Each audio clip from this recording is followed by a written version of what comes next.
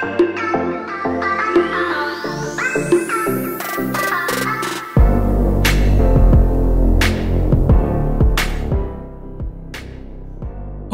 Adobe Village ဆိုတဲ့ရွာလေးကနေပြီးတော့လူကြီးမင်းတို့ကိုပြန်လဲကြိုဆိုပါရစေကျွန်တော်လိုမျိုးပဲဒီ Adobe software တွေကိုစိတ်ဝင်စားတယ်ပေါ့နော်ညီကိုမောင်နှမများအားလုံးပဲမင်္ဂလာပါကျွန်တော်နာမည်ကတော့ share သူအောင်ပါဟုတ်ပြီအဲ့တော့ဒီနေ့ကျွန်တော်ဘာသင်ပေးသွားမှာလဲဆိုတော့ကျွန်တော်ဒီ Adobe Premiere Pro ဆိုတဲ့ software ပေါ့နော်ဒီ software ဒီဒါ video editing သမားတွေသုံးတဲ့ software ဒီ Filmmaker လို့ creative Filmmaker လုပ်ချင်တဲ့ဖြစ်ချင်တဲ့သူတွေအသုံးပြုတဲ့ software ပေါ့နော်အဲ့တော့ကျွန်တော်ဒီဒီနေ့ tutorial ကို video editing ပေါ့နော် Adobe Premiere Pro ကိုလုံးဝမသိသေးတဲ့ပုံစံမျိုးနဲ့ပဲဒီလူတွေအတွက်ပဲရည်ရွယ်ပြီးတော့ကျွန်တော်ဒီပြောပေးသွားမယ်ဒါကျွန်တော်တို့အမှားအကင်းနိုင်ဆုံးပေါ့နော် တကယ်လို့မသိသေးဘူးဆိုလို့ရှိရင်လည်းသိသွားတယ်ကျွန်တော်ကြော်ချလိုက်တဲ့အတွက်ကြောင့်မလို့ဒါတချို့မသိတဲ့သူတွေပေါ့နော်မရှင်းသွားတာမျိုးကျွန်တော်မဖြစ်စေချင်ဘူးပေါ့နော်အဲ့တော့ကျွန်တော်ပြောမယ့်စကားရည်ဒီလုံးဝ Premiere Pro ကိုစပြီးတော့မဖွင့်တတ်သေးတဲ့ very beginner တယောက်အနေနဲ့ကျွန်တော်ဒီပြောပြပေးတော့မှာဖြစ်ပါတယ်။ Okay အဲ့တော့ကျွန်တော်တို့ဒီဟာလေးကိုနည်းနည်းလောက်လေးရှင်းကြည့်အောင်နော်။ဟုတ်ပြီအဲ့တော့ Adobe Premiere Pro ဆိုတာဘာလဲပေါ့နော်။ဒီမှာကျွန်တော်ရှင်းပြမယ်။ဒီ software လေးပါ။ကျွန်တော်အသုံးပြုမဲ့ Adobe Adobe Premiere Pro version ကကြတော့ဒါ Adobe Premiere Pro CC 2018 version ပဲဖြစ်ပါတယ်။သူဒီ video editing လုပ်တာကျွန်တော်တို့ဒီနေ့သုံးပါဒီ Lightroom မဟုတ်ဘူး။ Photoshop မဟုတ်ဘူး။ဒီ Lightroom နဲ့ Photoshop ဒီဒါ photographer အသုံးပြုတဲ့ software ပေါ့နော်။ Adobe software ဖြစ်ပါတယ်။ AI ဆိုတဲ့ Adobe Illustrator မဟုတ်ဘူးကျွန်တော်ဒီနေ့အသုံးပြုမှာဒီ Premiere Pro ဆိုတဲ့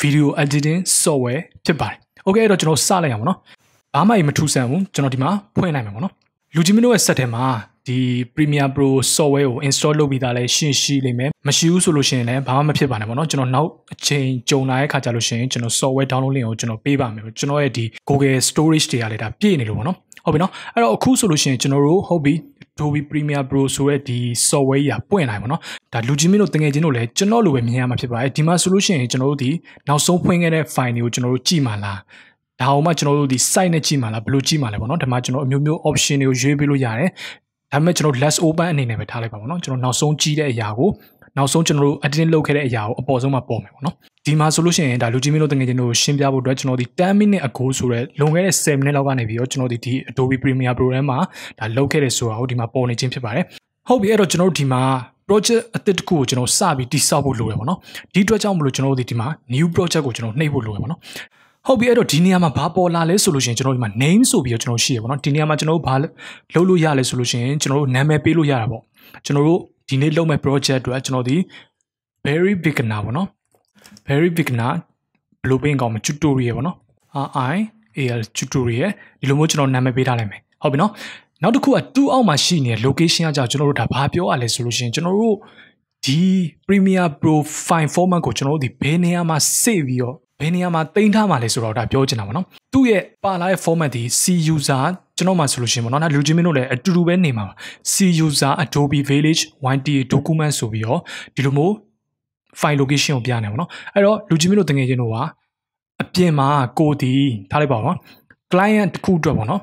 business တစ်ခုအတွက် video လုပ်ရတဲ့အခြေအနေရှိမယ်ကိုယ့်ရဲ့ creation အတွက် ဒါမှမဟုတ်ကျွန်တော်အင်္ဂလိပ်သချင်းတွေကိုဘာသာပြန်တဲ့အခါမျိုးလည်းဖြစ်ဖြစ်နေနေပါတော့အဲ့လိုအခြေအနေမျိုးမှာကိုဒီ file တွေ folder တွေကိုတက်တက်စီခွဲထားရဆိုလို့ရှိရင်ကျွန်တော်တို့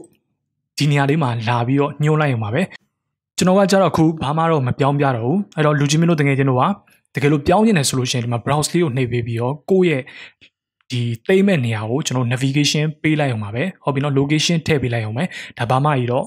ပြဿနာမရှိဘူးဟုတ်ပြီနော်ဒါဆိုလို့ရှိရင်ကျွန်တော်တို့ဒီ name နဲ့ location တွေကိုကျွန်တော်တို့ဒါ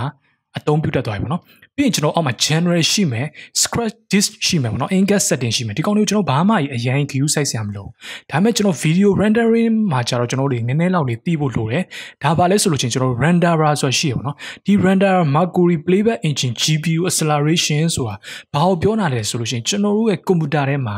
ကျွန်တော်တို့ဒီ graphic card စိုက်ထားရဆိုလို့ချင်းကျွန်တော်ဒီ option လေးကိုရွေးပေးဖို့လိုပါလိမ့်မယ်ဒါ Adobe ကနေပြီးတော့တခါလဲရွေးပေးပြီးသား ဖြစ်ပါလိမ့်မယ်ပေါ့နော်တကယ်လို့လူကြီးမင်းတို့ရဲ့ set ထဲမှာ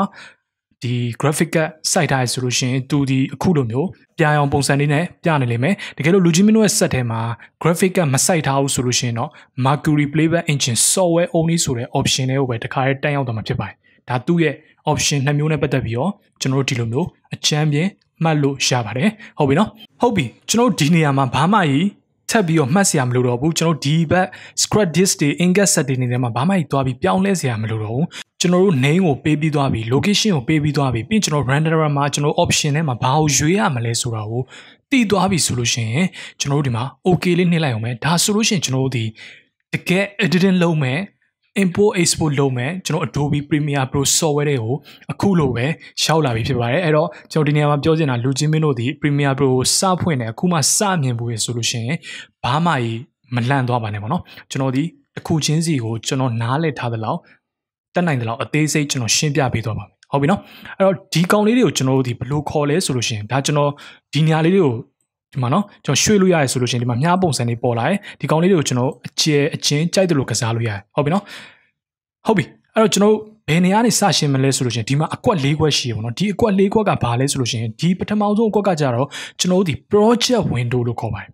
ဟုတ်ပြီနော်ဒီမှာကျွန်တော်တို့ project ဆိုပြီးပေါ်နေရဒါ project window ဒီပေါ်ကကြတော့ကျွန်တော်တို့ဒီ source monitor လို့ခေါ်တယ်ပေါ့နော်ဟုတ်ပြီနော်ဒါသူ့ကိုဒီလိုခေါ်တာဒီလိုခေါ်တယ်ဆိုပြီးတော့ပဲခဏလေးမှတ်ပေးတာနောက်တစ်ခုကကြတော့ကျွန်တော်တို့ဒီမှာ timeline window ရှိရပါတော့ ဟုတ်ပြီနော်တတိယတစ်ခုကဘာတော့ကျွန်တော်တို့ timeline window ဟုတ်ပြီနော်နောက်ဆုံးတစ်ခုကကြတော့ကျွန်တော်တို့ဒီမှာ program Windows ဆိုပြီးရှိတယ်အဲ့တော့ကျွန်တော်တို့ဒီ Windows ၄ခုရှိရဆိုပြီးတော့ကျွန်တော်အကြမ်းပြင်းမှတ်လို့ရတယ်ဟုတ်ပြီနော်ဘယ်လိုမျိုးအလုပ်လုပ်လဲဆိုတာကိုကျွန်တော် footage တွေနဲ့ထည့်ပြီးွားချိန်ညမှာမျက်စိတွေမြင်အောင်လို့ထပ်ရှင်းပြပေးမယ်ဒီပေါ်မှာ file တို့ edit တို့ click sequence marker graphics window help ဆိုတာကြောင့်ကျွန်တော်တို့ဒီ menu bar လို့ခေါ်တယ်ဒီကောင်းကြောင့်၄ရောက်ပါတယ်ဟုတ်ပြီနော်ဒါဆိုလို့ရှိရင်လူကြီးမျိုးတို့တကယ်ချင်းတို့ window တွေရှိမယ်ပြီးရင်ကျွန်တော်တို့ menu bar ရှိမယ်၄ရောက်ပါရှိမယ်ဆိုတာကိုဒါအကြမ်းပြင်ခဏစိတ်ထဲမှာသိထားလို့ရှိရင်ဟိုဒါတော်တော်ကြီးကိုအဆင်ပြေသွားပါပြီဟုတ်ပြီနော်အဲ့တော့ကျွန်တော်ဒီဒီ Adobe Premiere Pro မှာလူကြီးမင်းတို့တငယ်ချင်းတို့ Pro ရှင်းဖို့အတွက်ကျွန်တော်ဒီအပိုင်း၃ပိုင်းအနေနဲ့ရှင်းပြမယ်ပထမပိုင်းကကျွန်တော်တို့အပြင်ကနေပြီးတော့ download လုပ်ခဲ့တဲ့ဗီဒီယိုတွေဒါမှမဟုတ်ကျွန်တော်တို့ရိုက်ခဲ့တဲ့ဗီဒီယိုတွေကိုဘယ်လိုမျိုး Premiere Pro တွေကို import လုပ်ရမလဲဆိုတာနဲ့ပတ်သက်ပြီးတော့အရင်ဆုံးရှင်းပြမယ်ဒါပထမပိုင်းဒုတိယပိုင်းကကြတော့ဒီကျွန်တော်တို့ထည့်လာတဲ့ဗီဒီယိုတွေကိုဘယ်လိုမျိုး editing လုပ်ရမလဲဆိုတာကိုကျွန်တော်ရှင်းပြပေးမယ်ဒါဒုတိယပိုင်းနောက်ဆုံးပိုင်းကကြတော့ကျွန်တော်တို့ဒီကျင့်တတ်သွားပြီပေါ့နော် editing လုပ်ခဲ့တဲ့ချိန်မှာဒီ editing လုပ်ခဲ့တဲ့ဗီဒီယိုကိုအပြင်ကလောကကြီးကိုချပြဖို့အတွက်ဒါမှမဟုတ်ကျွန်တော်တို့ Facebook Instagram Instagram တော့မပါဘူးပေါ့နော်ထားလိုက်ပါအဲ့တော့ Facebook မှာကျွန်တော်တို့ဒီ ဗီဒီယိုတင်ဖို့အတွက်ဒါမှမဟုတ်ကျွန်တော်ရဲ့ client ကိုပေးဖို့အတွက်ဘယ်လိုမျိုး export ထုတ်ရမလဲဆိုတော့နောက်ဆုံးပိုင်းဖြစ်တဲ့ exporting ဆိုတဲ့အပိုင်းနဲ့ကျွန်တော်ဒီ import editing process export ဆိုပြီးတော့ဒီနေ့ tutorial video မှာကျွန်တော်ဒီအပိုင်း၃ပိုင်းအနေနဲ့ရှင်းပြပေးသွားမှာဖြစ်ပါတယ်။ Okay အဲ့တော့ကျွန်တော်လည်း script တွေကိုကြက်ထားတာမဟုတ်တဲ့အတွက်ကြောင့်မလို့လက်တမ်းပဲပြောနေရတဲ့အတွက်ကြောင့်မလို့တကယ်လို့အမှားပါသွားတယ်ကြော်ချပြီးတော့မှ တတိယအချိန်မှာပြန်လာပြီးတော့ပြန်ဖြည့်ပြီးတော့ပြောရတဲ့အရာမျိုးတွေရှိလို့ရှိရင်လည်းဒါလူကြီးမင်းတို့တကယ်ချင်းတို့စိတ်ထဲမှာဘလို့မှမထင်ပါနဲ့ကျွန်တော်ဒီဒီဗီဒီယိုအတန်သွင်းဖို့အတွက်ပေါ့နော်ကြိုးပြီးကြက်ထားတာတခုမှမရှိဘူးကျွန်တော်မှတ်စရာရှိတဲ့အရာလေးတွေကိုပဲခေါင်းထဲမှာနည်းနည်းလေးမှတ်ပြီးတော့ပဲဒီလိုအချက်ကလေးနဲ့ကျွန်တော်ဒီ ကြုံတယ်လို့ပြောပြရခြင်းဖြစ်ပါတယ်ပေါ့နော်ဒါနဲ့ပတ်သက်ပြီးတော့စိတ်ထဲမှာမရှိပါနဲ့ကျွန်တော်အတက်နိုင်ဆုံးအကောင်းဆုံးစူးစမ်းပြီးတော့ရှင်းပြပေးတော့ပါမယ်အဲ့တော့ဟုတ်ပြီကျွန်တော် input ကိုဘယ်လိုမျိုးလုပ်လို့ရလဲပေါ့နော် input ကိုကျွန်တော်ဘယ်လိုမျိုးလုပ်လို့ရလဲဆိုလို့ရှိရင်ကျွန်တော်တို့ဒီ project window ထဲမှာကျွန်တော်တို့ဒီ input လုပ်ဖို့အတွက်အသုံးပြုပါတယ်ပြောချင်တာကျွန်တော်တို့ဒီ project window ကို input လုပ်ဖို့အတွက်အသုံးပြုတယ်အဲ့တော့ကျွန်တော်တို့ဒီ Adobe Premiere Pro ထဲမှာ import လုပ်ပုံလုပ်နေနှစ်မျိုးရှိရယ်ပထမတစ်မျိုးကဘာလဲဆိုလို့ရှင်ဒီ import media to start ဆိုတဲ့နေရာလေးရှိရပါတော့ဒီကောင်ဒီကျွန်တော် media browser မှာမပေါ်ဘူးကျွန်တော်ဒီ project window ထဲမှာပဲကျွန်တော်တို့ဒီဒီစာတန်းလေးပေါ်နေမှာဖြစ်ပါတယ်ဒီစာတန်းလေးပေါ်နေရဆိုလို့ရှိရင်သူ့ကိုကျွန်တော် double click နှိပ်လိုက်ဒါဆိုလို့ရှိရင်ကျွန်တော်တို့ဒီ computer system တွေကိုရောက်သွားလိမ့်မှာပေါ့နော်ဒီမှာကျတော့ကျွန်တော်ဒီ document ထဲမှာဒီနေ့ကျင့်ဖို့အတွက် Premiere Pro for Very Beginner ဆိုတဲ့ဒီ access file တွေကို access file ဆိုတာကျွန်တော်တို့ဒီအပြင်ကနေပြီးတော့ ဒီ music effect တွေ sound effect တွေပြီးရင်ကျွန်တော်တို့ video footage တွေပေါ့နော်ကျွန်တော်ရိုက်ခဲ့တဲ့အရာတွေလည်းဖြစ်ဖြစ်နေနေမယ်ပြီးရင်တငယ်ချင်းပေးရဲ့အရာတွေလည်းဖြစ်ဖြစ်နေနေမယ်ကျွန်တော်တို့လုပ်ရမယ့်အလုပ်တွေပုံတွေရော video တွေရောအတန်တွေရောရောသမမွေထားတဲ့အပြင်ကနေပြီးတော့ဒီ Premiere Pro တွေကိုမထည့်ခင် file တွေကိုဒါ access file လို့ခေါ်တယ်ပေါ့နော်ဟုတ်ပြီနော်အဲ့တော့ဒီနေ့ကျွန်တော်ကျင့်ဖို့အတွက် Adventure Trip 1နဲ့ Adventure Trip 2နဲ့ Moving Violation ဆိုပြီးတော့ကျွန်တော်ဒီ sound အချင်းတစ်ခုကိုကျွန်တော်ဒီရွေးထားတယ်ဒီကောင်းလေးကိုကျွန်တော်ဒီ control key နဲ့ဒါမှမဟုတ် shift key နဲ့အစဆုံး ဆွဲပြီးတော့ကျွန်တော်ဒီ open နှိပ်ပြီးတော့ Premiere Pro တွေကိုကျွန်တော်တို့ရှင်းပြမယ်ပထမဆုံးအဆင့် input လုပ်လို့ရပြီဖြစ်ပါတယ်ဒါဘာမှမကတ်ဘူးအဲ့တော့ဒါပထမ input လုပ်နေပါတော့တကယ်လို့ကိုကနောက်ကိုပြန်ဆုပ်ဖို့လိုလာပြီဆိုလို့ရှိရင်ကျွန်တော်တို့ဒီ control z နဲ့ပြန်ဆုပ်ပါတယ်တကယ်လို့သင်ဟာ macbook user ဆိုလို့ရှိရင်ဒါလူကြီးမင်းဟာ command z ဖြစ်ပါတယ်ဒီဒီနေရာမှာကျွန်တော်ထပ်ဖြစ်ပြီးပြောချင်တာကျွန်တော် Photoshop ထဲမှာလို့ပေါ့နော် Control Z နဲ့နောက်ကိုတစ်ခါဆုပ်တယ် Control Order Z နဲ့နောက်တစ်ဆင့်ထပ်ဆုပ်ရတဲ့ Ando key တော့မဟုတ်ဘူးကျွန်တော် Premiere Pro ထဲမှာ Control Order Z နဲ့ဆုပ်เสียမလို့ Control Z နဲ့ကိုအနောက်ကိုတစ်ဆင့်ချင်းစီဆုပ်ပေးလိုက်လို့ရှိရင်ကျွန်တော်အဆင်ပြေပါပြီဟုတ်ပြီနော်အဲ့တော့နောက်တစ်ခုကဘယ်လိုမျိုး input လုပ်ရမလဲဆိုလို့ရှိရင်ကျွန်တော်လွယ်လွယ်လေးကျွန်တော် computer system တွေကိုလာတယ်ပြီးရင်ကျွန်တော်ဒီကောင်ဒီကောင်တွေကိုကျွန်တော်အကုန်လုံးဆက်လက်ပေးပြီးတော့ကျွန်တော်ဒီ input media to stat တွေကိုလူပြင်းနေနဲ့ drag and drop နည်းနဲ့ဆွဲထည့်လိုက်လေဒါ input လုပ်နေနောက်တစ်မျိုးပါပဲအဲ့တော့ဒီနေရာမှာ input လုပ်နေနှစ်မျိုးကိုကျွန်တော်ပြောပြခဲ့တယ်ပေါ့နော်ဟုတ်ပြီအဲ့တော့ input မှာဒီ project window မှာပေါ့နော်ကျွန်တော်နောက်ထပ်ဘာသိစရာရှိသေးလဲဆိုလို့ရှိရင်ကျွန်တော်ဒီမှာ view တွေကြည့်လို့ရတယ်ဒီကောင်လေးကဘယ်နေရာမှာရှိလဲဆိုလို့ရှိရင်ကျွန်တော်ဒီနေရာမှာရှိရပါတော့အဲ့တော့ဒါဒီ thumbnail view နဲ့ကြည့်နေတာပြောချင်တနည်းအားဖြင့်ပြောမယ်ဆိုလို့ရှိရင်ဒီမှာ icon view နဲ့ကြည့်နေလို့ပြောလို့ရတယ်ပေါ့နော်ကျွန်တော်ဒီဒီမှာဟုတ်ပြီကျွန်တော်ပြမယ်ဒီ line လေးကိုကျွန်တော်အပေါ်ဆွဲပြမယ်ဒီမှာကျွန်တော်ဗီဒီယိုကိုဒီလိုမျိုးရွှေ့ပြီးတော့ကျွန်တော်ဘယ်နေရာရောက်နေလဲဆိုတာကိုကျွန်တော်ဒီမှာအကြမ်းမြင်ကြည့်လို့ရပါဘောနော်ဒါ Premiere Pro ရဲ့အရန်ဟိုဒါ မိုက်တဲ့အရာတခုပေါ့နော်ကျွန်တော်ရဲ့ footage မှာဘယ်နေရာကိုကျွန်တော်ရောက်နေရတော့ကျွန်တော်ဒီမှာအကြမ်းမြင်ကြည့်လို့ရတယ်ဟုတ်ပြီနော်ဒါကကျွန်တော်တို့ဒါ icon view ဟုတ်ပြီနောက် view တစ်ခုကဘာလဲဆိုလို့ရှိရင်ကျွန်တော်တို့ဒါ list view ပေါ့နော် list view ကိုကျွန်တော်ဒီနေရာလေးနော်ဒီနေရာလေးနဲ့ဒီနေရာလေးနဲ့ဟုတ်ပြီနော်ဒီနေရာလေးကိုကျွန်တော်နှိပ်လိုက်မယ်ဆိုလို့ရှိရင်ကျွန်တော်တို့ဒီ list view ရောက်ပါမယ် list view ကိုသွားပြီးတော့ကြည့်မယ်ဆိုလို့ရှိရင်ကျွန်တော်တို့ဒီဘယ်လိုမျိုး advantage တွေရနိုင်တယ်ဆိုလို့ရှိရင်ကျွန်တော်တို့ရဲ့ video မှာရှိနေတဲ့ information အကုန်လုံးကိုကျွန်တော်တို့ဒီကြည့်လို့ရတယ် icon view မှာလို့မဟုတ်အဲ့တော့ မျက်စိတဲ့မမြင်သေးဘူးကျွန်တော်ပြမယ်ဒီကောင်ကိုကျွန်တော်ဒီအရှိကြီးမြင်ရဖို့အတွက်ခဏလေးဆွဲဆန့်ထားလိုက်ပါတော့အဲ့တော့ကျွန်တော်ဒီမှာဆိုလို့ရှိရင် frame rate တွေကြည့်လို့ရတယ်ပြီးရင်ကျွန်တော်တို့ဘယ်နေရာစတော့ဘယ်နေရာမှာဆုံးတော့ media duration တွေကျွန်တော်ကြည့်လို့ရတယ်ဒါတွေကကျွန်တော်အရေးမကြည့်ဘူးကျွန်တော် footage တစ်ခုကို video clip တစ်ခုကိုကျွန်တော်ကြည့်တော့မယ်ဆိုလို့ရှိရင်အရေးကြီးတာနှစ်ခုရှိတယ် ဘာလဲဆိုလို့ရှိရင်ကျွန်တော်တို့ဒီ frame rate နဲ့ video resolution နဲ့ပေါ့နော်အဲ့တော့ဒီမှာဆိုလို့ရှိရင်ကျွန်တော်တို့ဒီ frame rate ဒီ adventure trip 1ရဲ့ frame rate ဒီ25 frame per second ရှိတယ်ဒီ adventure trip 2ဆိုလို့ရှိရင်ကျွန်တော်တို့30 frame per second မှာထားလိုက်ပါတော့အတူတူပဲဟုတ်ပြီနော်အဲ့နောက်တစ်ခုကကြာတော့ကျွန်တော်ဘာပြောင်းနေလဲဆိုလို့ရှိရင်ကျွန်တော်တို့မှာ video resolution ပြောင်းနေအဲ့တော့ video resolution ကဘယ်နေရာမှာရှိလဲဆိုလို့ရှိရင်ကျွန်တော်ဒီကောင်လေးကိုနည်းနည်းလေးဆွဲလိုက်မယ်ပေါ့နော် ဆွဲလိုက်မယ်ဆိုလို့ရှိရင်ဒီဘက်ညာဘက်အစုံဆုံးမှာရှိမှာ video info ဆိုတာဒါ video resolution သူ့ရဲ့ footage တစ်ခုချင်းစီရဲ့ video resolution ဖြစ်တယ်ပေါ့နော်အဲ့တော့ကျွန်တော်ဒီကောင်ကို frame rate ရဲ့အနောက်ကို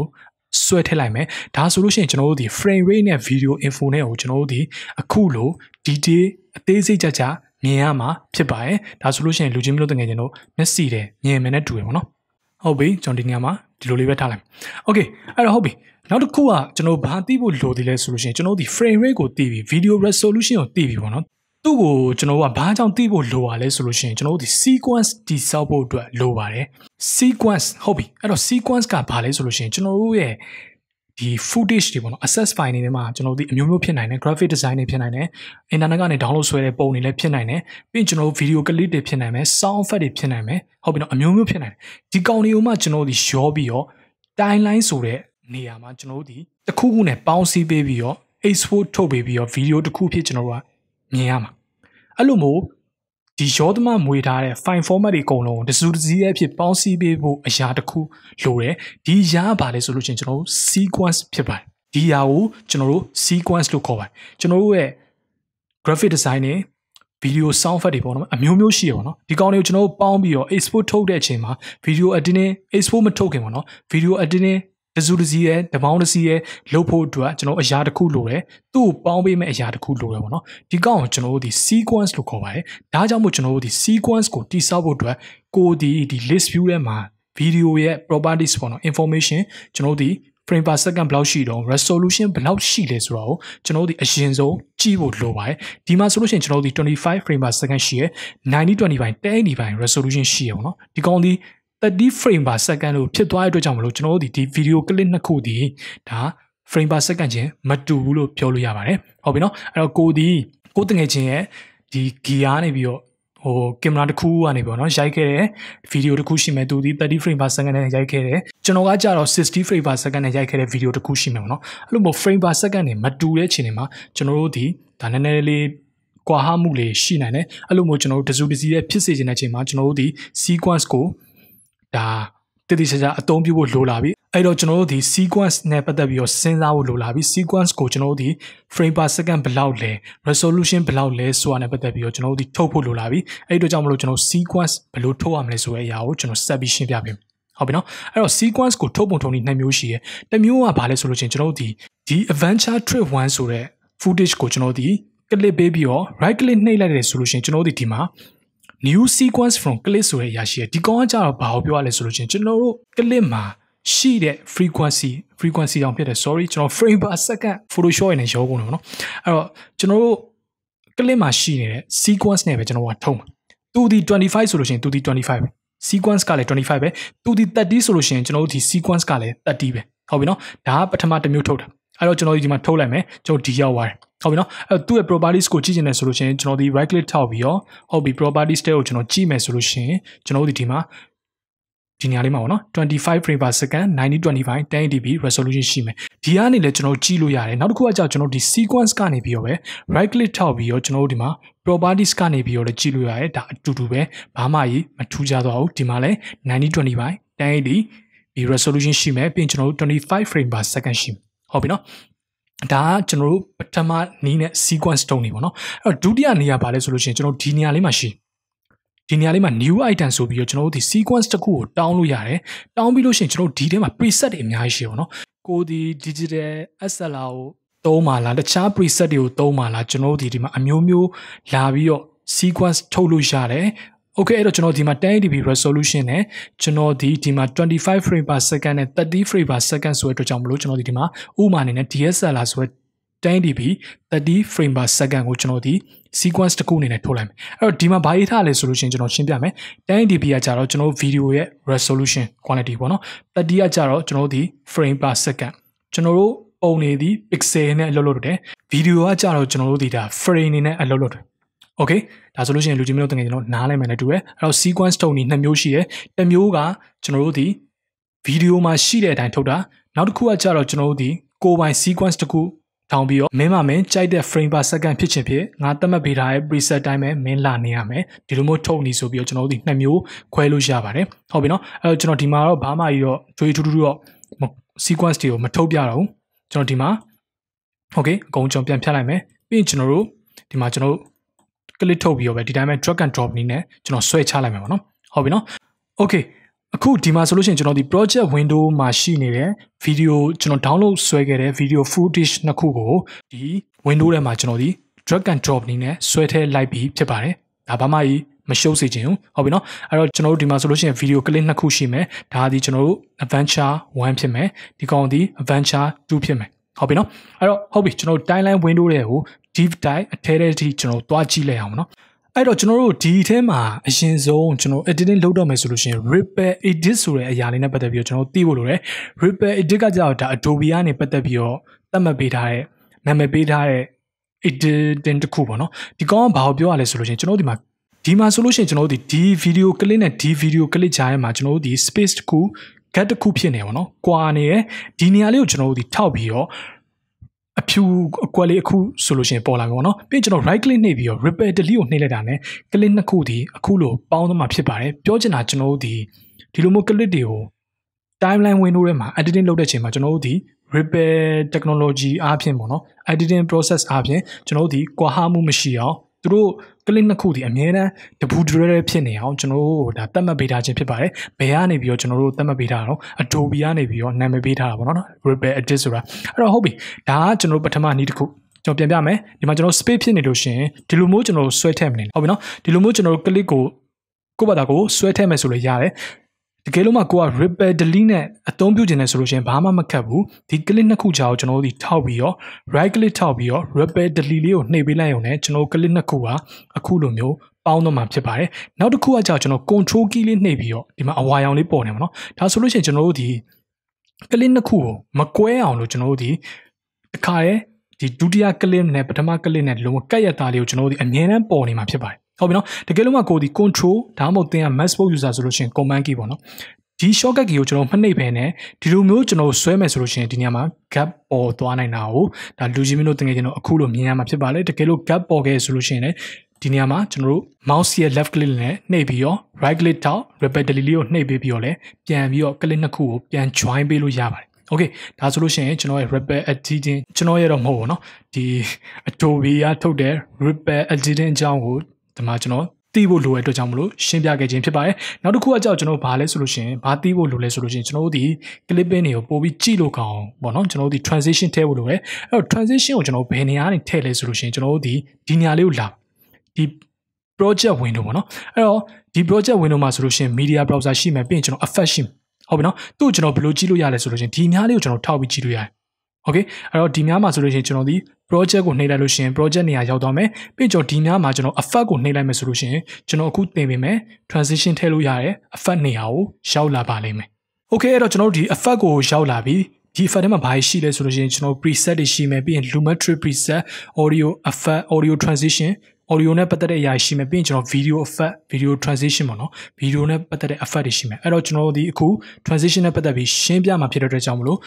video transition ကိုကျွန်တော်နှိပ်လိုက်မယ်ပြီးရင်ကျွန်တော်တို့ဒီ Adobe ထဲမှာ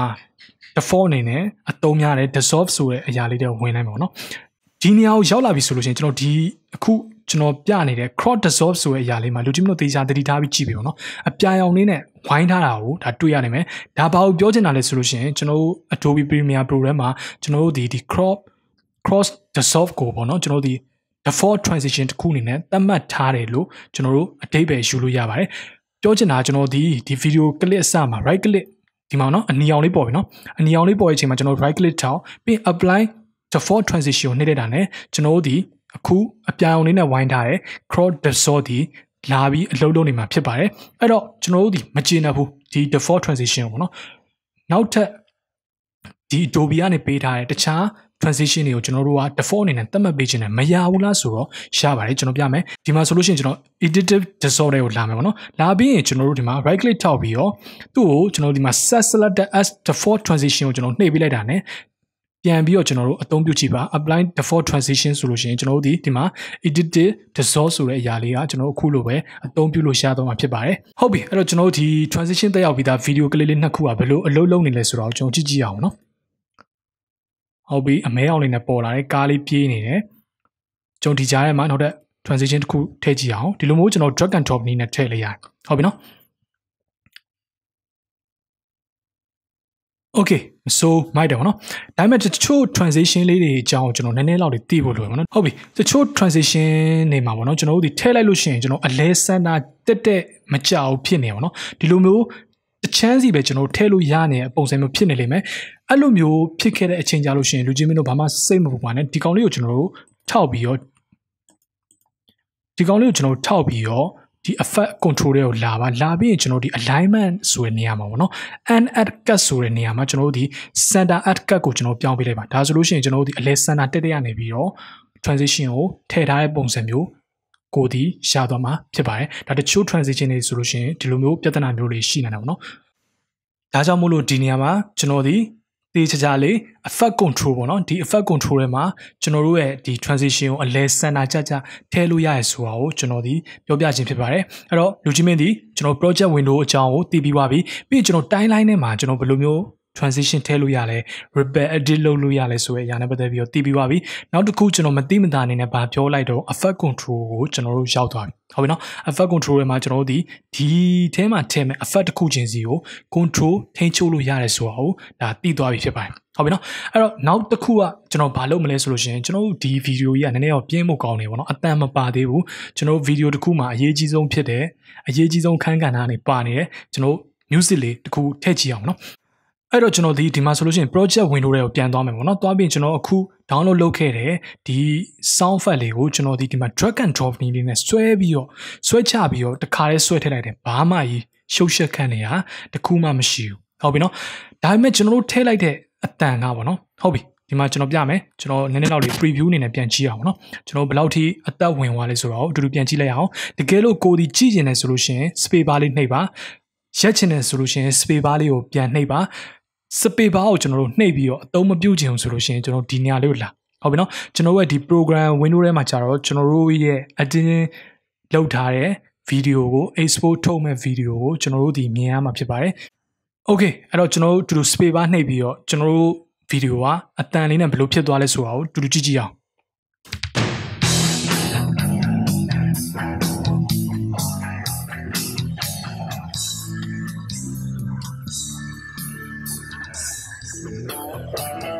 ဟုတ်ပြီနော်ဒါဆိုလို့ရှိရင်ကျွန်တော်နည်းနည်းတော့ perfect တော့ဖြစ်လာပြီပေါ့နော်ဒါပေမဲ့ကျွန်တော်ဒီမှာဖြတ်စရာတောက်စရာကြံသေးရပေါ့နော်ဘာလဲဆိုလို့ရှိရင်ကျွန်တော်ဒီမှာကြည့်ပါဟုတ်ပြီဒါကကျွန်တော်ဘာကို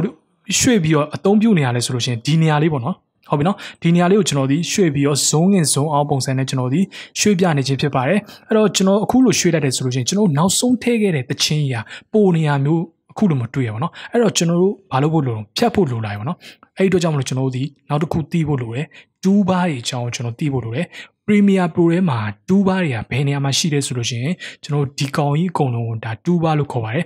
ဒီနေရာမှာကျွန်တော်တို့ဒီ beginner တယောက်ဖြစ်တဲ့အတွက်ကြောင့်မလို့2ဘားတွေအကုန်လုံးကိုအသုံးပြုစရာမလိုဘူး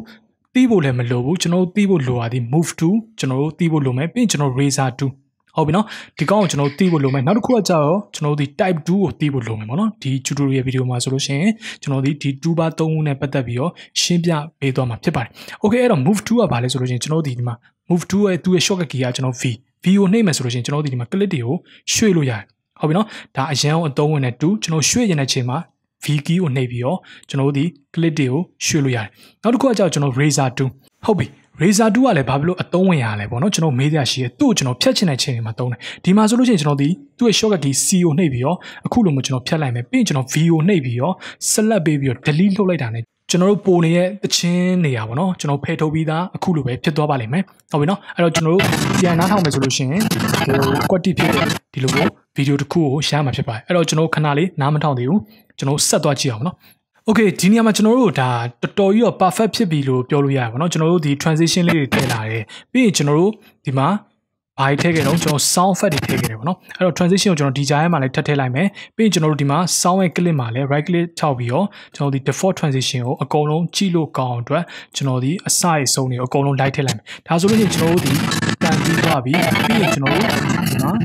transition တွေလည်းထည့်ခဲ့ပြီးသွားပြီ ဟုတ်ပြီနော်နောက်တစ်ခုကျွန်တော်ဘာလို့သေးလဲဆိုလို့ရှိရင်ကျွန်တော်တို့ title လေးထိုးကြည့်မကောင်းဘူး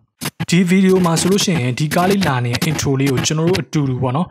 ဟို cinematic sensor test effect လေး intro test လေးပေါ့နော်ကျွန်တော်တို့ထည့်ရင်အဆင်မပြေဘူးလားပြေတာပေါ့ကျွန်တော်ပို့ပြီးကြည့်လို့ကောင်းတာပေါ့နော်အဲ့တော့ဟုတ်ပြီကျွန်တော် test effect တစ်ခုကိုကျွန်တော်ဘယ်လိုထည့်မလဲဆိုလို့ရှိရင်ကျွန်တော်တို့ဒီဘာအသုံးပြုခဲ့တော့ move to ကိုအသုံးပြုခဲ့တယ်ပြီးရင်ကျွန်တော် razor 2ကိုအသုံးပြုခဲ့တယ်နောက်ဆုံး type 2ကိုအသုံးပြုပြီးတော့ကျွန်တော်တို့ဒီ ဒီမှာ test effect တွေကိုအလွယ်တကူပဲထည့်လို့ရမှာဖြစ်ပါတယ်ဟုတ်ပြီနော် okay ဒီမှာကျွန်တော်တို့ကြိုက်တဲ့စာတန်းကိုထိုးလို့ရတယ်ဒါလူကြီးမင်းတို့တငယ်ချင်းတို့သဘောကျွန်တော်ကတော့ဒီနေရာမှာ adventure ဆိုပြီးတော့ထိုးမယ်ပေါ့နော် ADVEN DY adventure um me ဟုတ်ပြီကျွန်တော်စိတ်ထဲမှာရှိတဲ့အရာတစ်ခုကိုကျွန်တော်ထိုးလိုက်တယ်ပြီးရင်ကျွန်တော်တို့အောက်မှာဘာထိုးမလဲဆိုလို့ရှိရင် block 1ဆိုပြီးကျွန်တော်ထိုးရင်ကောင်းမှာ VLOG ဟုတ်ပြီ block 1ဆိုပြီးထိုးလိုက်မယ်ပြီးရင်ကျွန်တော်တို့ selection 2တခုဖြစ်တဲ့ v key လေးကိုနှိပ်ပြီးတော့ကျွန်တော်တို့ဒီမှာနေရာလေး position လေးကိုရွေးလို့ရတယ်ဟုတ်ပြီနော်အဲ့တော့ block 1လေးကိုကျွန်တော်တို့အလယ်နားမှာပို့လိုက် okay ကျွန်တော်ဒီမှာ selection 2လေးကိုရွေးပြီးတော့သူ့ကိုကျွန်တော်တို့အလယ်မှာထည့်လို့ရတယ်စံနာကြကြပါတော့ဒါခဏလေးထားလိုက်နောက်တစ်ခုကျွန်တော်တို့ဒီ test effect ကိုကျွန်တော်တို့ဒီ ပြောင်းကျင်တယ်ပေါ့နော်တခြား design effect ပုံစံမျိုးလေးတွေရောပြောင်းလို့မရတော့ဘူးလားဆိုလို့ရှင်ရပါတယ်ဘယ်နေရာကိုသွားပြီးပြောင်းမယ်လဲဆိုလို့ရှင်ကျွန်တော်ပြမယ် window ကိုလာပါလာပြီးလို့ရှင်ဒီမှာကျွန်တော်တို့ဒီ essential graphics ဆိုတာရှိရပါတော့ဒီ test effect တွေပဲဖြစ်ဖြစ်ဘယ် effect တွေပဲဖြစ်ဖြစ်ကျွန်တော် graphic design ပုံစံလိုမျိုးကျွန်တော်တို့ဒီပြောင်းကျင်နေဆိုလို့ရှိရင် essential graphic ကိုကျွန်တော်တို့ဒီလာပါတယ်ဘယ်နေရာမှာရှိအောင်ကျွန်တော်တို့ဒီ window essential graphic လေးကိုကျွန်တော်တွားလိုက်တာ ਨੇ အခုလိုမျိုးရမယ်ပေါ့နော်ရပြီးကျွန်တော်ဒီမှာ edit ထဲကိုလာပါလာပြီးလို့ရှိရင်ကျွန်တော်ဘာကိုတွေ့မလဲဆိုလို့ရှိရင် adventure and me ဆိုပြီးတော့ဒီလိုမျိုးစာတန်းလေးကိုကျွန်တော်တို့ထိုးခဲ့တဲ့အရာလေးလိုမျိုးတွေ့နေရလိမ့်မယ်အဲ့တော့ကိုဒီဒီမှာ center တက်တက်ကြမှာလားဒါမှမဟုတ်ကျွန်တော် position ကိုပြန်ညှိမှာလားကျွန်တော်ဒီမှာအမျိုးမျိုးပြန်ညှိလို့ရပါတော့အဲ့တော့ကျွန်တော်ဒီ v key နဲ့ပဲဒီမှာကျွန်တော်ရွှေ့လိုက်အဲ့တော့နောက်တစ်ခုကကြောင့်ကျွန်တော်ဒီမှာ ဘယ်ညာရွေးမှလားအပေါ်အောက်ရွေးမှလားဒီထဲမှာကျွန်တော်ရွေးလို့ရသေးတယ်ပြီးရင်ကျွန်တော်တို့စလုံး site ကိုကြီးမှလားသေးမှလားကျွန်တော်အမျိုးမျိုးရွေးလို့ရတယ် opacity ကိုကျွန်တော် short မှလားတိုးမှလားကျွန်တော်အမျိုးမျိုးရွေးလို့ရတယ်ဒီမှာကျွန်တော် test ထဲမှာလည်းဒီ test မှာကျွန်တော်ဒီဘယ် font သုံးမလဲဆိုလို့ရှိရင်ကျွန်တော်ကြိုက်တဲ့ golden bow ဆိုတဲ့အရာကိုကျွန်တော်ဒီအသုံးပြုလိုက်မယ်ပြီးရင်ကျွန်တော်တို့ဒီမှာ spacing တွေချားမှလား cinematic sensor solution ဒါအထဲထဲမှာ space ချတဲ့ပုံစံမျိုးလေးထည့်ပါတော့ဒီထဲမှာကျွန်တော်အများကြီးလာကစားလို့ရပါတယ်ဒါလူကြီးမျိုးတကယ်ချင်းတို့ကိုယ့်ဘာသာကိုကစားကြည့်ပါအဲ့တော့ကျွန်တော်ဒီဒီမှာ stroke ကိုထည့်မယ် stroke ကိုကျွန်တော်ဒီ30လောက်ထားလိုက်မှာပေါ့နော်30နဲ့ကျွန်တော်တို့ဒီအဖြူရောင်မထည့်ဘူးရောသွားလိမ့်မယ်အမဲရောင်တစ်ခုကိုကျွန်တော်ထည့်လိုက်ဟုတ်ပြီနော်ဒါဆိုလို့ရှိရင် essential graphic design ထဲမှာကျွန်တော်တို့ဒီအမျိုးမျိုးလာကစားလို့ရတယ်ဆိုတော့ဒါလူချင်းမင်းတို့မျက်စိတွေပေါ်သွားမယ်နဲ့တူပါတယ်အဲ့တော့ဟုတ်ပြီကျွန်တော်တို့ရဲ့ဒီ intro title ကြီးอ่ะဗောနော်တိတ်ပြီးတော့ကြည့်လို့မကောင်းသေးဘူးဘေးနားမှာကျွန်တော်ဘောင်လေးထက်ခတ်လို့ရှိရင်ရောအဆင်မပြေဘူးလားပြေတာပေါ့အဲ့တော့ကျွန်တော်ဘောင်ဘယ်လိုခက်ရမလဲဆိုလို့ချင်းကျွန်တော်ပြမယ်ကျွန်တော်ဒီမှာ slider bar လေးကိုဒီနေရာမှာနော် slider bar လေးကိုကျွန်တော်ကစားနေတယ်ဒီ new layer ဆိုတဲ့ icon လေးကိုတွေ့အောင်ရှာပါတော့ဒီညာဘက်ထောက်မှာရှိဟုတ်ပြီနော်ဒီကောင်လေးကိုကျွန်တော်နှိပ်လိုက်မယ်ဆိုလို့ရှိရင်ဒီမှာ test vertical test rectangle ellipse ဆိုပြီးတော့ကျွန်တော်အမျိုးမျိုးရှိနေတယ်အဲ့တော့ကျွန်တော်ဒီ၄တောင်းပုံစံလေးထည့်မယ်ဆိုတဲ့အတွက်ကြောင့်မလို့ဒီနေရာမှာကျွန်တော်ဒီ rectangle ကိုရွေးလိုက်မယ် ရွေးပြီးလို့ရှိရင်ကျွန်တော်ဒီ V key လေးကိုနှိပ်ပြီးတော့သူ့ကိုကျွန်တော် shift order နဲ့လည်းဆွဲလို့ရတယ်ဟုတ်ပြီနော် okay အဲ့တော့ကျွန်တော်ဒီမှာအကုန်လုံးကို select ပေးထားသလိုပုံစံမျိုးဖြစ်နေတယ်အဖြူတွေတော့ပြည့်နေပါတော့ဒါခဏလေးစိတ်ထဲမှာဘာမှမထားနဲ့ကျွန်တော်နောက်ကျရင်ရှင်းလို့ရတယ်ကျွန်တော်ပြမယ် okay ကျွန်တော်ဒီမှာ၄တောင်းပုံစံ effect တစ်ခုတော့ကျွန်တော်ထည့်ပေးပွားပြီဒါပေမဲ့ကျွန်တော်တို့တေချာမမြင်ရသေးဘူးဘာဖြစ်လို့လဲဆိုတော့ကျွန်တော်ဒီမှာ fade နဲ့ဖြည့်နေလို့အဲ့တော့ fade ကိုကျွန်တော်ဖြောက်လိုက်မယ်ပြီးကျွန်တော် stroke ကိုအဖြူရောင်ထားပေးပြီးတော့ကျွန်တော်ဒီမှာ 10လောက်ပေါ့နော်ကျွန်တော်ဥမာအနေနဲ့10ထားလိုက်မယ်ဒါဆိုလို့ရှိရင်ကျွန်တော်ဘေးနားမှာဘောင်ခတ်ထားတဲ့ effect မျိုးကိုရပါပြီဒါပေမဲ့ကျွန်တော်ဒီမှာ block ထဲမှာနည်းနည်းလေးအလဲမကျသေးဘူးဟုတ်ပြီဒါဆိုလို့ရှိရင်ကျွန်တော်တို့ရဲ့ဒီ cinematic ဆန်ဆန်ပေါ့နော်ဆန်လားမဆန်လားတော့မသိဘူးကျွန်တော်တို့ဆန်လိုက်ပြီပေါ့နော်အဲ့တော့ cinematic ဆန်ဆန်စာတန်း intro စာတန်းနဲ့ဘောင်ကတ်တဲ့ effect တစ်ခုကိုဘယ်လိုမျိုးလုပ်ရမလဲဆိုတဲ့အရာပါဒါလူချင်းမင်းတို့တကယ်ကျွန်တော်တည်သွားပြီဖြစ်ပါတယ်အဲ့တော့ဘောင်ကတ်တဲ့အရာတွေကနည်းနည်းလေးကြီးနေတယ်အဲ့တော့ကျွန်တော်ဒီဒီမှာခုနှစ်လောက်ထိုင်ကောင်းမလားဟုတ်ပြီအမဲအောင် gray အောင်လေး gray အောင်ကျွန်တော်ဒီ15လောက်ထားမယ်ဆိုလို့ရှိရင်ဟုတ်ပြီ10ပဲထားလိုက်မယ် shortcut key နဲ့ညှိနေအောင်နော်အဲ့တော့ဟုတ်ပြီ okay ဒါဆိုလို့ရှိရင်ကျွန်တော်တို့ဒီလိုမျိုး effect တစ်ခုကိုရှာသွားပြီးဖြစ်ပါတယ်ဗောနော်အဲ့တော့ကျွန်တော်ဒီဘာသင်ပေးခဲ့တော့ဒီ editing နဲ့မှာ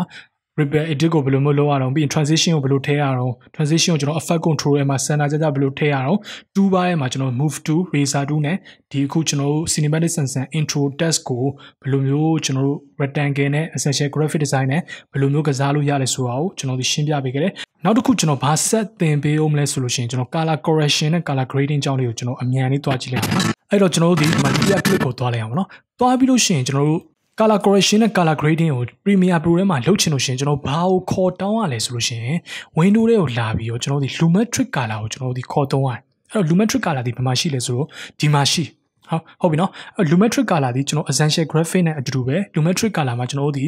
ဘာလုပ်လို့ရလဲဆိုလို့ရှိရင် color correction တကယ်လို့ကိုဒီရိုက်ခဲ့တဲ့အရာကြီးက color မမှန်ဘူးဒီ footage ကပေါ့နော် color မမှန်ဘူးဆိုလို့ရှိရင် color တွေကိုအရင်ဆုံး correction လုပ်ရတယ် ပြီးရင်ကျွန်တော်ဒုတိယအဆင့်တစ်ခုအနေနဲ့ color မှန်သွားပြီဆိုမှ creative sense color grading ကိုကျွန်တော်ပြုလုပ်ရပါတယ်ဒါ photography မှာလည်းဒီတိုင်းပါပဲဟုတ်ပြီနော်အဲ့တော့ကျွန်တော် lumetric color ကိုကျွန်တော်ဖွင့်လိုက်တယ်ဆိုလို့ရှိရင်ဒီမှာကျွန်တော် basic correction ဆိုတာရှိရပါတော့ဟုတ်ပြီနော်။မ basic correction ရှိမယ် creative ရှိမယ် caps ရှိမယ် color wheels and mesh ရှိမယ်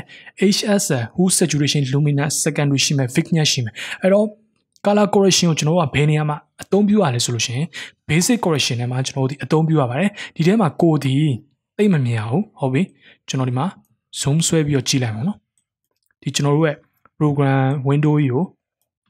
ကြည့်ပြီးတော့ကြကြဝုံဝုံကျွန်တော်ဒီမှာကြိုက်တယ်လို့ကိုကြိုက်တယ်လို့ color တွေကိုလာပြီးဖန်တီးလို့ရတယ်ဒီမှာကျွန်တော် white balance ချမှာလားဟုတ်ပြီနော်ဒါဆိုလို့ရှိရင် white balance ဒီမှန်ချင်မှန်လိမ့်မယ်မမှန်ချင်မမှန်ဘူးကျွန်တော်တို့ရဲ့ပုံမှာရှိနေတဲ့အဖြူရောင်နေရာကိုထောက်ပြီးတော့ကိုယ့်ရဲ့ white balance ကိုကိုဒီချလို့ရမှာဖြစ်ပါတယ်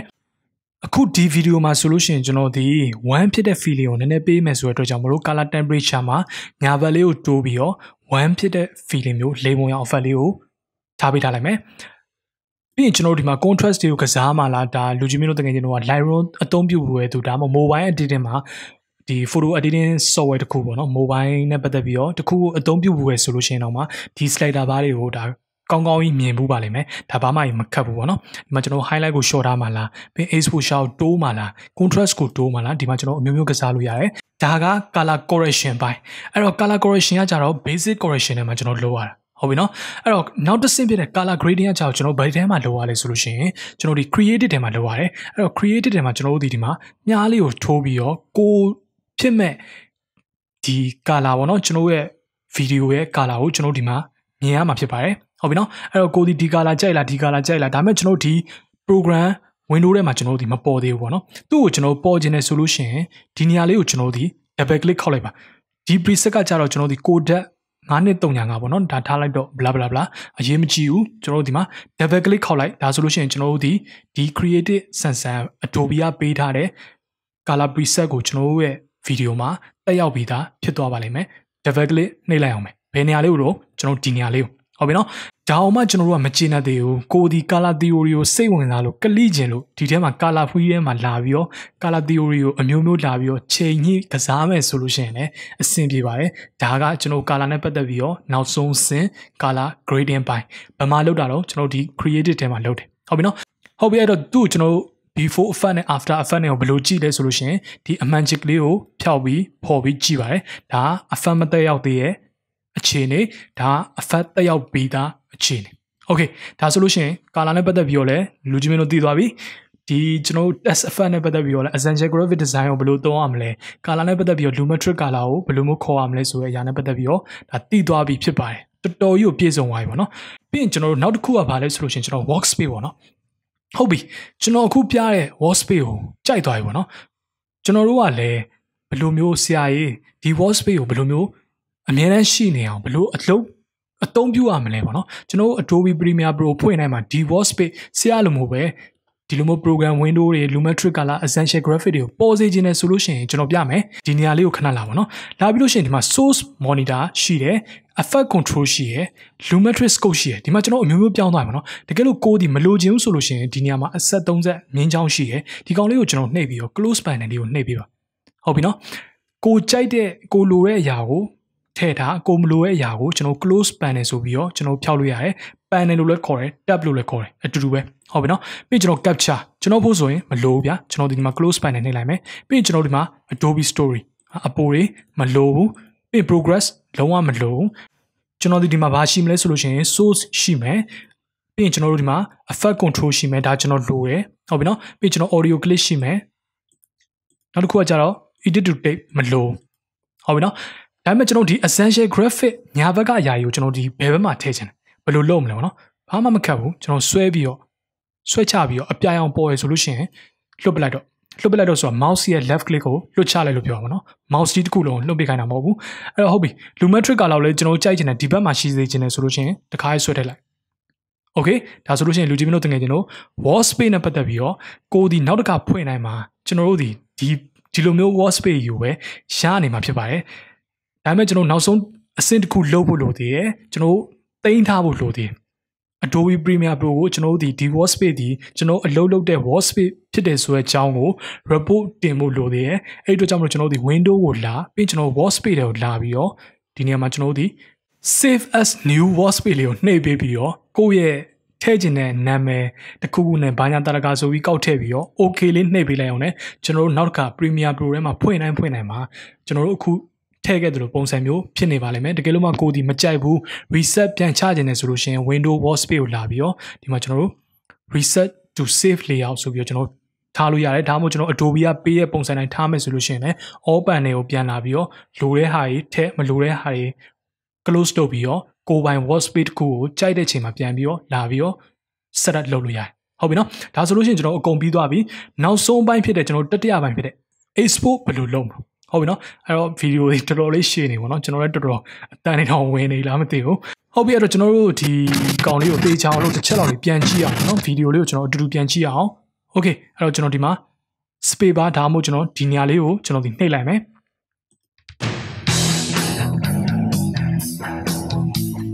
ဟုတ်ပြီဒါပေမဲ့ကျွန်တော်တို့ဒီ test မှာပေါ့နော် intro test မှာကျွန်တော်ဒီ default transition တခုကိုထားလိုက်မယ်ဗျာ တိတ်ပြီးတော့မပြည့်စုံပါဆိုလို့ပေါ့နော်ဟုတ်ပြီအဲ့တော့တူတူထပ်ပြီးတော့ပြန်ကြည့်အောင်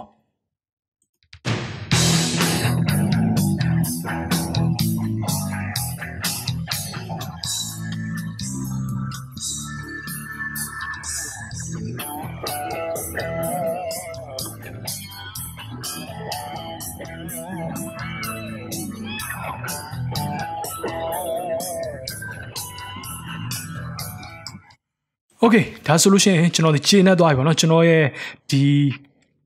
ဗီဒီယို edit နဲ့ပတ်သက်ပြီးတော့ကျွန်တော်ခြေနဲ့သွားပြီခြေနဲ့သွားတဲ့အတွက်ကြောင့်မလို့ကျွန်တော်ဒီနောက်ဆုံး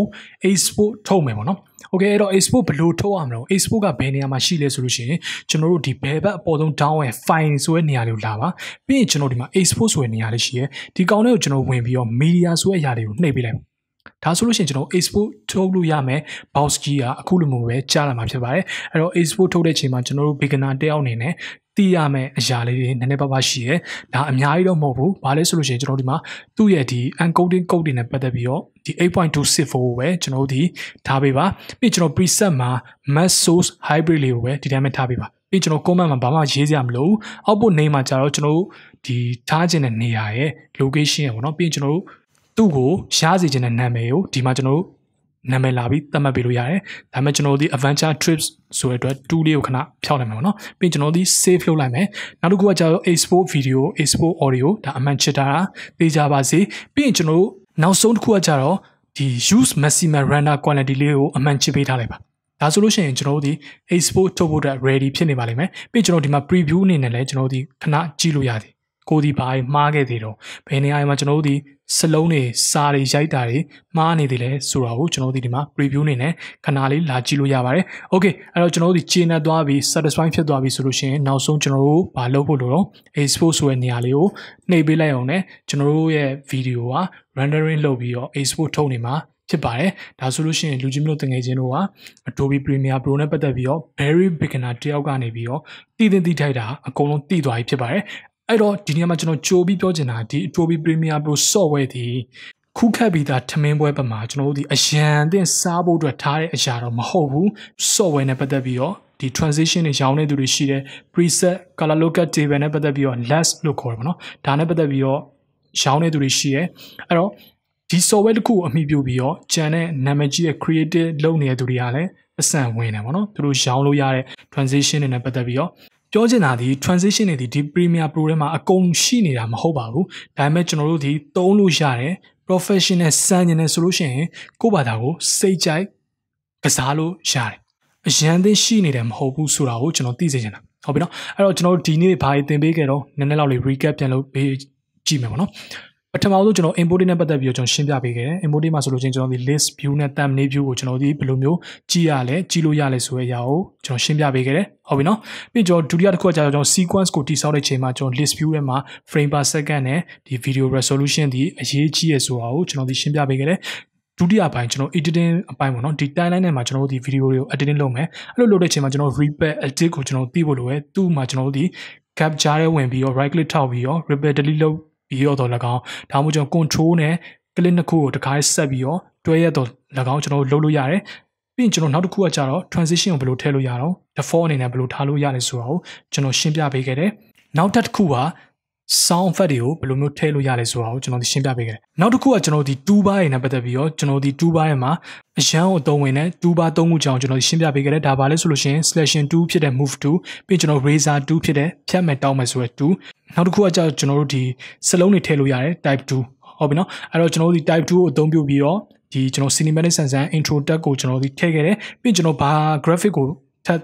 သုံးပြပေးခဲ့တော့ကျွန်တော်ဒီ essential graphic ကိုကျွန်တော်ဒီအသုံးပြုပေးခဲ့တယ်တကယ်လို့ essential graphic ကမရှိဘူးဆိုလို့ရှိရင်ကျွန်တော် window တွေကိုလာဒီမှာ essential graphic ဆိုတဲ့အရာလေးရှိတယ်ဒီကောင်လေးကိုကျွန်တော်နှိပ်ပေးပြီးတော့ကျွန်တော်ဒီ essential graphic ကိုတွားလို့ရတယ်ပြီးရင်ကျွန်တော်တို့ဘာကို section ပြပေးခဲ့တော့ color correction and color grading ဘယ်ထဲမှာလောက်တာတော့ဒီ lumetric color ထဲမှာလောက်တာဟုတ်ပြီနော်ထပ်ပြီးတော့ကျွန်တော်ဘာရှင်းပြပေးခဲ့လဲဆိုလို့ရှိရင်ကျွန်တော်ရှင်းပြရတယ်ဒီနေ့တော်တော်အများကြီးပဲပေါ့နော်ဒီကျွန်တော်တို့ ကြိုက်သွားပြီဆိုလို့ရှိရင် wall space ကိုဘယ်လိုမျိုးကိုယ်ပိုင် manually control လုပ်ရမလဲဘယ်လိုမျိုးတင်ထားလို့ရလဲဆိုတာကိုကျွန်တော်ဒီပြောပြပေးခဲ့တယ် wall space ဒီဒါကိုအလုပ်လုပ်မဲ့နေရာအတွက်အဆင်ပြေဆုံး tab တွေဒီ window တွေကိုပေါ့နော်ကြည့်လို့ကောင်းအောင် CCE နဲ့ချထားတာကိုဒါ wall space လို့ခေါ်ပါတယ်။ Okay အဲ့တော့ကျွန်တော်နောက်ဆုံးဆင့်ဖြစ်တဲ့ exporting ဘိုင်းမှာကျွန်တော်ဒီဘာရှင်းပြပေးခဲ့တော့ rendering လုပ်တဲ့အချိန်မှာဘာလေးသိဖို့လိုတော့ဘယ်ဟာလေးတွေကိုအမှန်ချစ်ဖို့လိုတော့ rename လေးတွေကိုဘယ်လိုသတ်မှတ်ပေးဖို့လိုတော့ ဒါလေးတွေကိုကျွန်တော်အကုန်ရှင်းပြပေးခဲ့တယ်ကျွန်တော်ဒီ importing editing process exporting လုပ်ခဲ့တဲ့အရာနဲ့ပတ်သက်ပြီးတော့အကုန်ရှင်းပြပေးခဲ့တယ်ဆိုတော့ပြောရင်းနဲ့ပဲကျွန်တော်ရဲ့ဒီဒီနေ့ Adobe Premiere Pro for Very Beginner ဆိုတဲ့ knowledge sharing tutorial video လေးอ่ะဒီနေ့ဖို့တော့ဒီလောက်ပါပဲအားလုံးပဲကျင်းနေလိမ့်မယ်လို့လည်းမျှော်လင့်ပါတယ်ခုခုရှာသွားမယ်လို့လည်းမျှော်လင့်နေပါတော့အဲ့တော့ကျွန်တော်နောက်ထပ်စိတ်ဝင်စားဖို့ကောင်းတဲ့ tutorial မှာဆက်တွေ့ကြအောင်အားလုံးပဲအဆင်ပြေကြပါစေ good luck see you ပါ